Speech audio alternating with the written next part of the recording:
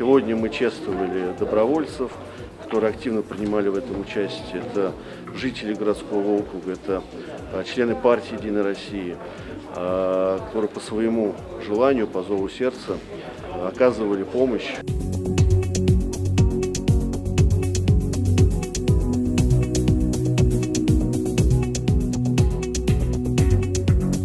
У нас а, открыт ресурсный центр для волонтеров э, в городском округе Химки.